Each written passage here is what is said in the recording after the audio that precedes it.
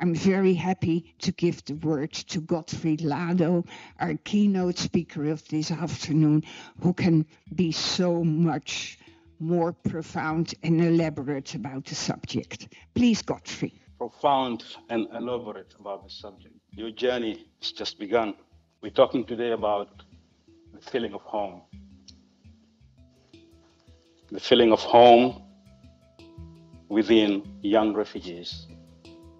I'm not young, everybody can see that, I think. But I was once that young refugee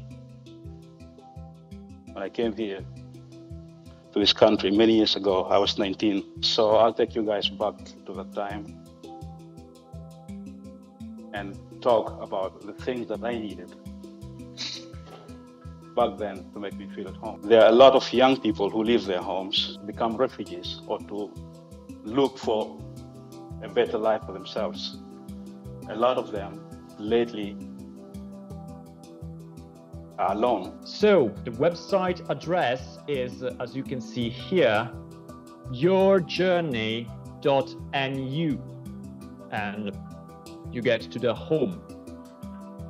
I'll scroll a little bit through the home and you can see our presentation. Every journey is a story and every story is a journey. We are also working on uploading all the translations. So in the end, the whole website will be available in English, Italian, Dutch, German, and Greek. So may I please present our researcher and friend, Dr. Nesreen Abu Ghazaleh.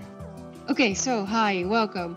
Uh, as introduced, I am a researcher here at the University of Applied Sciences, and I will tell you something about the research that has been done on this uh, uh, project. Okay, so what did we want to do? Uh, uh, Eltje sitting here, she was the the, the, the brain behind uh, uh, this project. So um, she started it, and then we got the funding, which was extremely nice about two years ago. Um, so what did we want to do? We wanted to see, okay, what does feeling at home mean, and how can youth professionals increase feeling at home for local people, but especially people with a refugee background?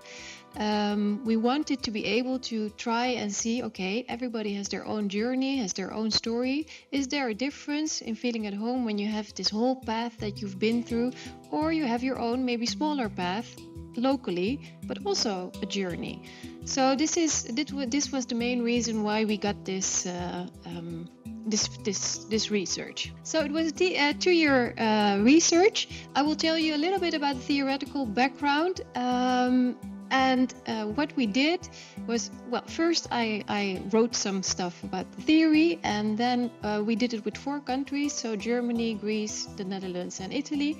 And every time we came together, and all these people were the brains, the, the, how do you say that, the artistic brains, uh, storyteller, photographers, the people with a theater background, and they developed all the tools that are now included in the exercises. Um, so we sat together, and I, as a researcher, of course, was like astonished uh, hearing all this creativity, but it was so nice to be there. Um, after we created all these tools, every country took tools from the other country to assess whether is it doable, does it represent feeling at home? Can youth professionals use it? And this is how it was um, evaluated. So this this uh, formulated the final uh, uh, tool that that you can find.